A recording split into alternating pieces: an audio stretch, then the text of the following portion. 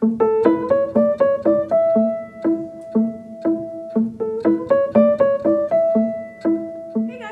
Back to my channel. If you're new here, hello, my name is Kay. I'm a professional home organizer and soprano here in the Boston area and I'm here to inspire you to live a more organized life. In today's video, I'm gonna be putting the finishing touches on my organized pantry. I organized my rental pantry. I put some custom shelving up in it and if you wanna look at that video, I will link it up in a card up above so you can see what the before was and what the after was. And today we're gonna put sort of the icing on the cake on that pantry. I'm gonna be making some beautiful custom labels for them, some containers and some beautiful custom labels for the drawers. I'm gonna be doing this all with my Cricut Joy and that brings me to today's sponsor is Cricut. Now you guys loved my last Cricut video when we talked about pantry organizing and the main question I got is like, A, what is a Cricut and what does it do? And how easy is it to use?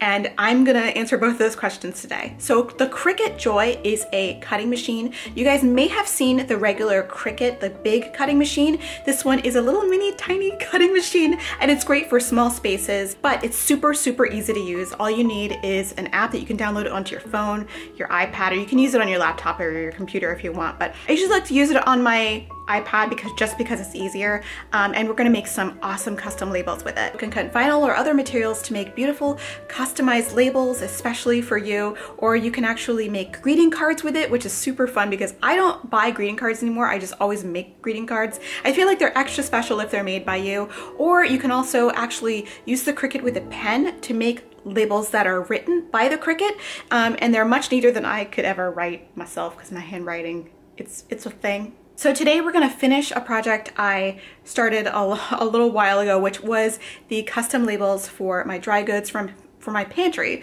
So I will show you what I've done so far and we'll show you the pantry, what it looks like right now. So here is our beautiful rental pantry and we've got a little snack invasion happening down here. But for the most part, it still looks pretty good. And I've got these containers.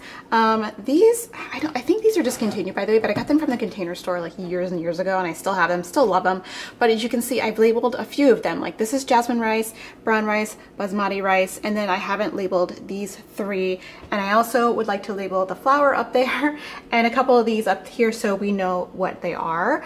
Um, and I get a lot of questions about these particular labels. They are um, chemical labels. This one is baking soda and this one is um, sugar. This is the chemical formula for sucrose if you don't know. So um, I'm, I, I could do the same thing with the salt. I think this is icing sugar as well, so I'll probably do something a little different for that, but yes, nerd alert. And also down here in these drawers, they do um, make labels for these, and these drawer, these labels actually came from another place. So instead of doing the uh, vinyl labels, which you would stick on here, I'm just gonna go ahead and have the Cricut write the label of whatever's in here. And that way, I, if I change my mind about what's stored in the drawers, I'm not committed. This is pretty much permanent on here. This is the permanent vinyl, um, and I, you know, it's a commitment. But for this drawer, I don't want to make too much of a commitment, so I'm gonna have the Cricut just draw the labels for that one. Oh, and if you're not familiar, I've actually done my spice jars too with the permanent vinyl, and I think they look great. I love, I love being able to see exactly what's in each spice jar because your girl cooks a lot. Can you tell? Can you tell?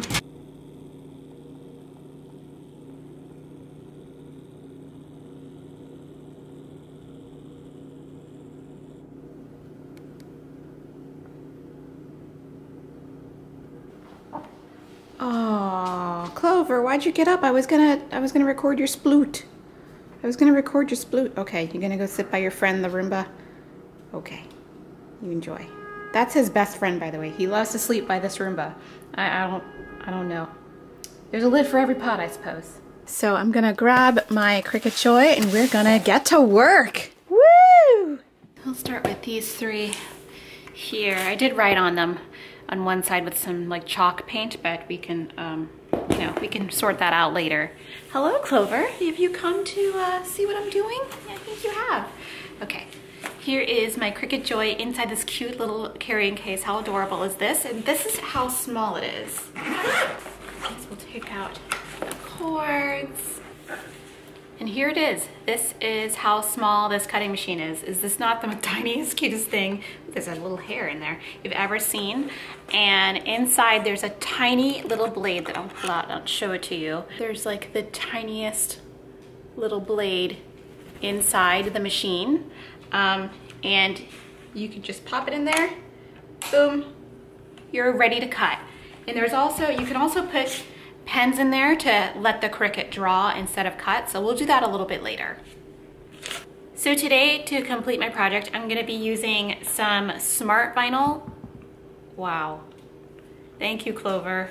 The smart materials from Cricut are great because you don't need a mat to go underneath here to hold the material. You can put the smart mat in the Cricut Joy to hold that material to the mat so that it goes, it feeds into the machine correctly. But with these smart vinyls and smart uh, materials, you don't have to do that. You can just put them right into the machine without a mat, which is awesome. Um, so today we're gonna use some smart vinyl in black to finish off this project. All right, I'm gonna go into my Cricut Design Studio app. There is an app just for the Cricut Joy as well, but I like to work in the Cricut Design space. Um, let me just sign in. So I'm gonna pick new project and I get this sort of blank canvas, well this blank grid space. So the grid space is basically like kind of the size, this, imagine it to be the paper. And so um, before you do your project, you wanna make sure that you know exactly how much space you'll need or how big to make your project. Otherwise, you can, you can actually make it too big or too small. I want this pretty much to take up the entire side. So this is about like four inches by like um, an inch and a half tall. So there are inches indicated on the Cricut design app so that you don't uh, make things too big. So we're gonna keep to those dimensions and make our label. Let's see, what else do I have here? I have bulgur, okay.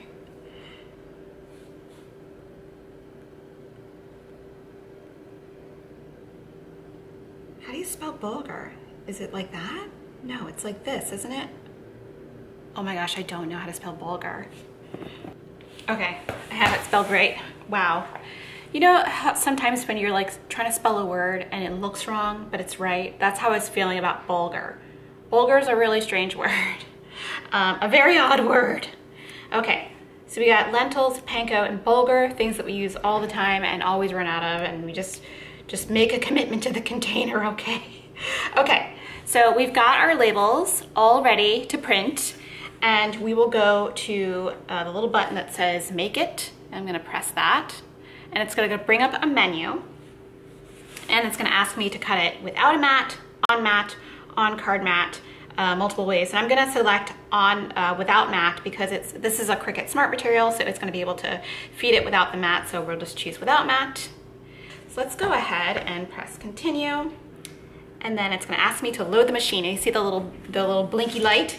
That means put stuff in, put stuff in. So we're gonna go ahead and put stuff in. There we go. And it's basically gonna load the material into the machine and figure out if you actually have enough material to work with. And then all you need to do when it's ready to go is just tap go and it's gonna go. Let's go.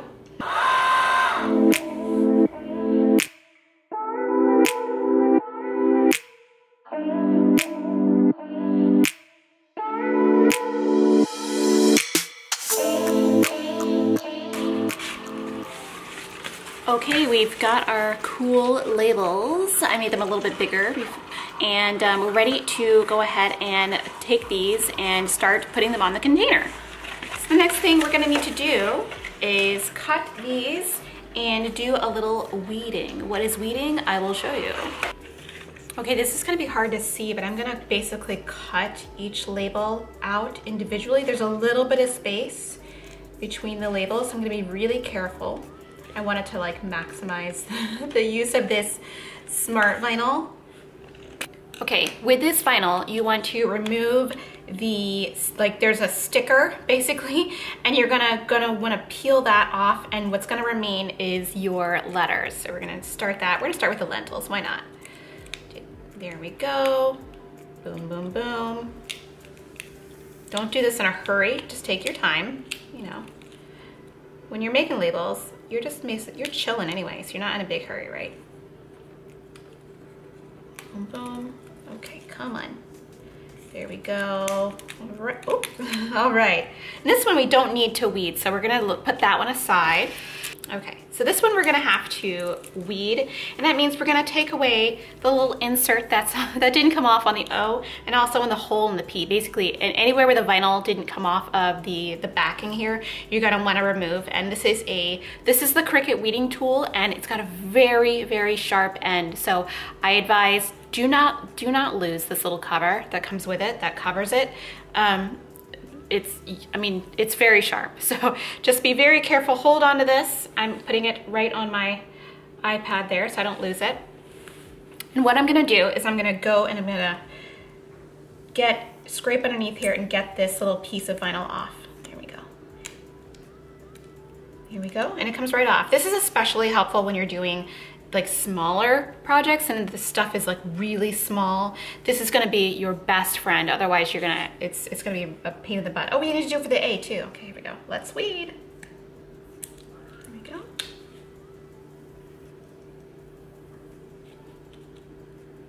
And for the P, there we go. And we're golden. Okay, so we've got our labels ready to transfer. So what we're gonna do now is you're gonna need some transfer tape. This is the what you're gonna use to transfer this label from this tape to your container. So the great thing about the transfer tape though is you can reuse it a bunch of times before it's not sticky anymore. It's really handy. There we go, let's cut a little bit of transfer tape. All right, so here, take the backing off like that and you can see it's a clear, it's a clear tape. So what we're gonna do is, let's do the Bulgur first. That's like the biggest one. So I'm gonna take my transfer tape and I'm gonna stick it on to the label like that. Boom. And then I'm gonna grab this little guy. This is like what if you're putting on wallpaper, you know, you, you smooth out your edges like that. We're gonna smooth out this label to get it to really stick on the transfer tape. What that is gonna do is it's gonna lift up the label from the backing onto the transfer tape and that's why it's called transfer tape because once you do that you just transfer the label and just be patient with yourself while you're doing this we want to make sure that you really get a good you really adhere this label to the transfer tape really well so that the whole thing comes off. Oh, good, first time's a charm. Sometimes if the label appears to be sticking to the backing, don't worry, just go back and rub it down some more and it eventually will stick to the transfer tape. Just be very patient. There we go, everything's going perfectly. Okay. Perfect. So now we have our Bulgur label and it's gonna go this way. I think that the camera is mirrored a little bit, I can see it. So here we have our Bulgur container, container Bulgur container. I'm gonna put it down here and I'm gonna position it where I want it to be on the container. Let's see. Want it to be like right here. It's kind of perfect, like that. And then I'm gonna smooth it down with my fingers. You can even use the tool again, but normally when I get to this point, I like to just use my hand because it's not as intense. Okay, so once you've smoothed down a little bit, you're gonna wanna pull the transfer tape away. And your label should be transferred to your container. Do -do -do do, do. Yay! And I'm going to use this transfer tape for the other ones too. You can reuse them a bunch of times. So you don't have to use a new piece of transfer tape each time, but like, look at that. Isn't that pretty? And it's your own customized label. It looks like it was, you know, you bought this and had a special label made. They're beautiful and they just add that extra like just a little bit of vavavoom to your pantry. So I'm gonna do the other labels and then we'll do the ones for the drawers.